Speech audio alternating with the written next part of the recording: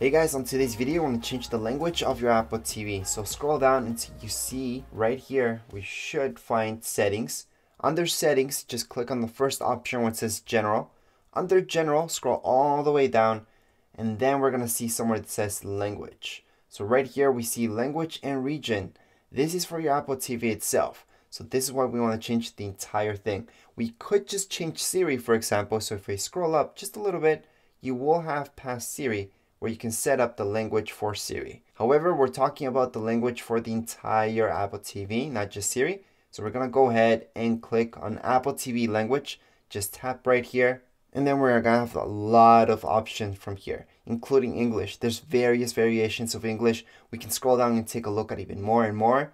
And then down here, we're gonna see Chinese, for example, Japanese, Spanish, French, Dutch, and so on. So if you keep scrolling down, you're going to see more such as Korean, Italian, Turkish, Dutch, Arabic, Thai, Swedish, Danish, Vietnamese, Polish, Indonesian. We have Greek, and all the way down in our list, we do have Hindi. So we have a lot of languages we can change our entire system to. So just keep scrolling until you see the exact one that you want to change it to. But let's say, for example, we want to change it to Spanish. So right here, Spanish, we can just tap on it once we tap on it, we can just tap on the first option, change language, and depending on what language you're changing it to, you might see a message like so. And we can just go ahead and continue on. Once you do so, your Apple TV will restart. And there we go. Everything would be in Spanish now. So if we go into settings, we're gonna see that it's another word for settings. It's configuración.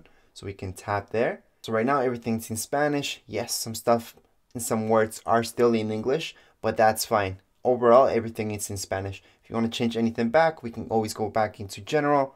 Under general, we're just going to go down all the way down until you see Siri.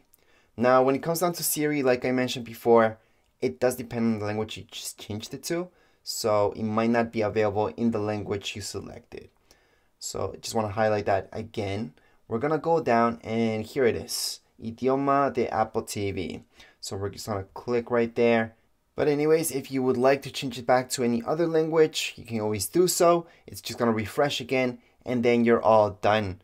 As for this video, we are all done. If you guys have any questions, comments, you guys can write down here in comments area.